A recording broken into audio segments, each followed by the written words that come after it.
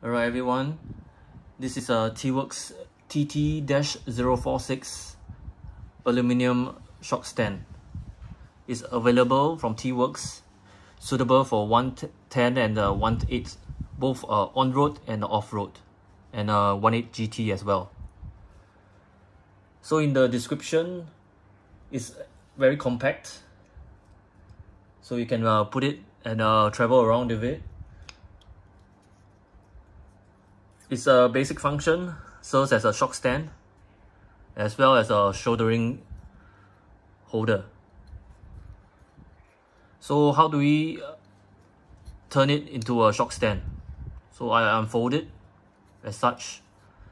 On the bottom of the shock stand, there are these two carbon fiber balance plates that extend out.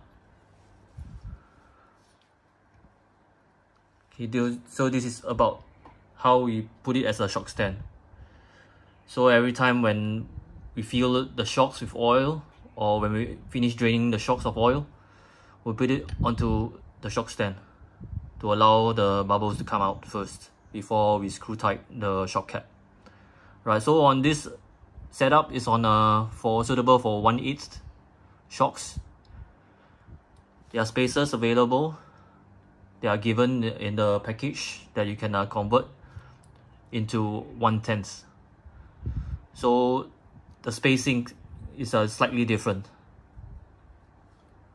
So my preference in removing the spaces. So I would usually, for the 1 to 8, I would just use my thumb and push it up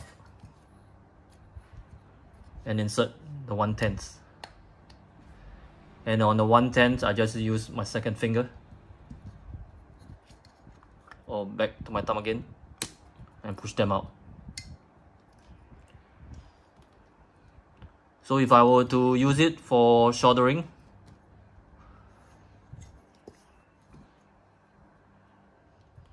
so this is a 4 millimeter bullet connector. There are bullet holes for 2, 3.5, 4 and 5 millimeters. So with the bullet connector inserted there's a ease of uh, soldering. You don't have to hold on to the bullet connector when you're soldering. And this is a small parts tray. You can put screws in. And that's about it for this TT-046 aluminum shock stand.